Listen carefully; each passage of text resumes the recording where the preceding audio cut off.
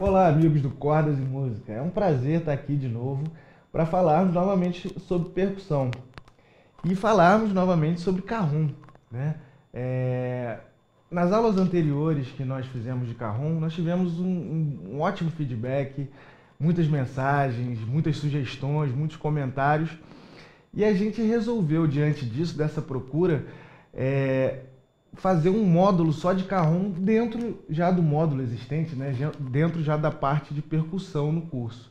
Então, além de outros, outros instrumentos que a gente vai continuar gravando, pandeiro, congas, bongô, timbales, enfim, uma infinidade de, de instrumentos de percussão, é, a gente vai continuar gravando o carrom agora um pouco mais, vamos gravar, na verdade, bem mais aulas agora, de carrom e dentro de um módulo específico ali, o curso de carrom dentro do curso de percussão.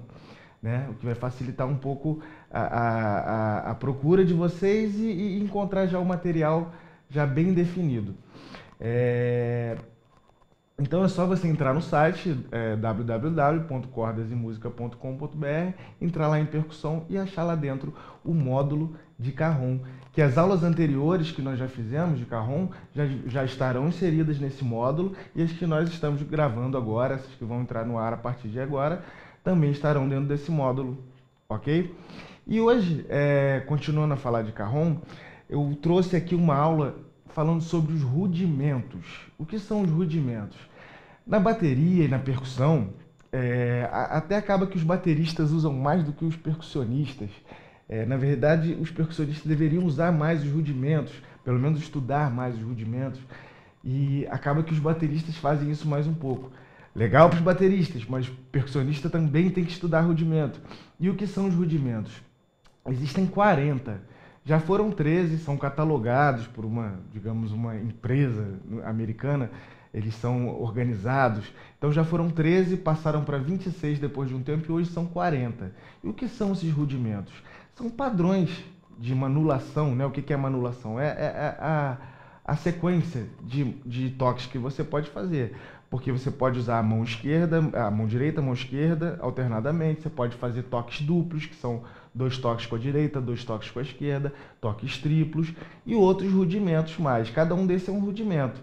É, é, na primeira aula que a gente fez, que eu até recomendo que você volte lá e dê uma estudada boa, ainda mais se você está começando no carrom, seria importante assistir essa aula. É todas essas outras aulas, sobretudo a intitulada Exercícios Progressivos no Carrom, né? Que ela vai ter, nessa aula tem uma sequência grande de exercícios ali, utilizando a manulação alternada, que é essa aqui. que é o que? Direita e esquerda o tempo todo. É um rudimento. Esse, esse, esse, essa manulação, essa forma de tocar já é um dos rudimentos da bateria e percussão. É um dos 40, chamado em inglês, né? Single stroke roll, ou toque simples em português. Também teremos o toque duplo, que a gente ainda não viu. São dois toques com cada mão, que vai ter o nome de double stroke roll, em português, toque duplo. É, são dois rudimentos que a gente já faz. Tem um que vocês já devem ter percebido também, às vezes até já usam, que é um toque praticamente com as duas mãos juntas. Uma entra um pouquinho antes da outra. E chamado flan, faz esse som de flan, flá, flá, né? Esses dois toques bem próximos. Também é um outro rudimento. Então é, são 40 no total. Você fala, nossa, 40 rudimentos, muita coisa para estudar. Na verdade, eles são agrupados de, de quatro, é, é, é, são quatro subgrupos dentro dos rudimentos, onde eles são agrupados. São os rudimentos, esse é o grupo do, dos toques simples, são os stroke rolls, tem o, o grupo dos flans, o grupo dos drags e o grupo dos diddles, que o principal nós veremos hoje, que é o paradiddle. Esse rudimento é muito importante tanto para percussionistas quanto para bateristas, porque ele vai envolver o que? O toque simples com o toque duplo, né? A gente vai juntar essas duas formas. Então já vamos começar a ver como vai ser essa manulação em forma de exercício. Tá? A gente vai fazer, você pode ver a partitura aí, baixa a partitura aí, vai estar tá tudo na, na, na, descrição direitinho. Você pode baixar aí a partitura, pode não, deve baixar a partitura e acompanhar. Você vai ver que está tudo escrito em semicolcheias. Para essa aula vai ser tudo semicolcheia, que é aquela nota que se a gente pensar num tempo, são quatro notas por tempo. Um, dois, três, quatro. Um, dois, três, quatro. Se a gente passasse para o carrom aqui, se a gente passar para o carrom em mão alternada, é um, dois, três, quatro. Ok? Só que o que, que acontece? No paradiddle, a gente vai fazer algumas inversões. Como eu já disse, vamos, vamos misturar o toque simples e o toque duplo, para que, temos novas, que tenhamos novas formas de criar tanto levadas como, como viradas, quanto trabalhar em solos também, enfim. Então, como vai ser? Primeiro vamos fazer só na parte aguda aqui. Lembrando que nós temos basicamente três sons no carrom. O grave, que a gente tira com a palma da mão aqui na região entre o centro e a parte superior do carrom. Essa região intermediária aqui. Nós temos o agudo na parte superior do carrom aqui nos cantos, com a ponta dos dedos. E nós temos um toque muito parecido, mas bem levinho, que é o toque de dedos. Então, grave, agudo, dedos. Ok?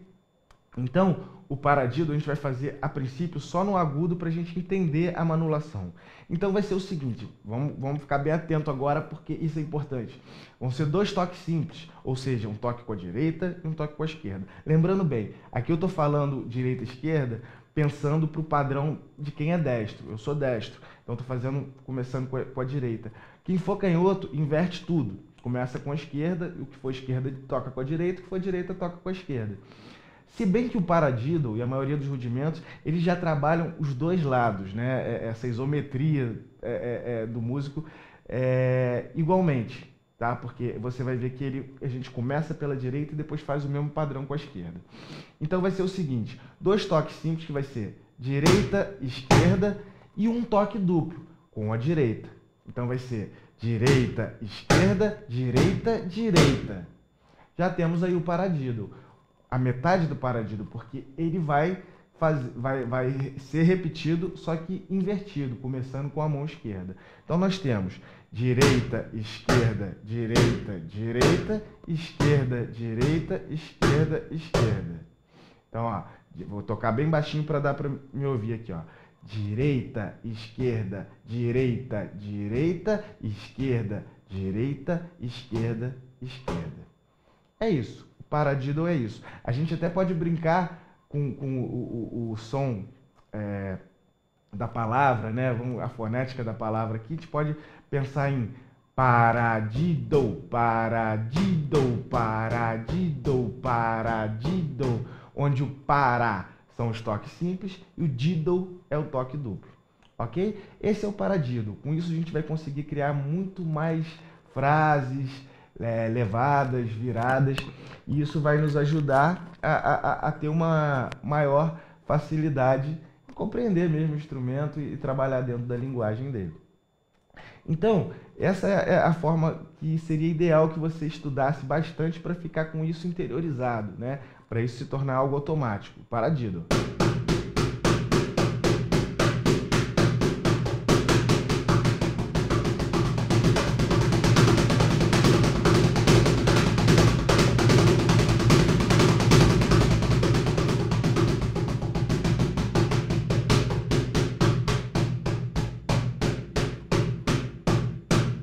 ok? Muito bem. Vamos ver então como a gente pode aplicar esse paradiddle é, trocando aqui, não usando a, as duas mãos na mesma região. A gente pode fazer combinações, deve fazer combinações é, de sons agora, grave, agudo, toque de dedos, e para aumentar nosso vocabulário. Quanto, quanto mais combinações você fizer, mais ideias vão surgir aí para você criar e colocar dentro da música.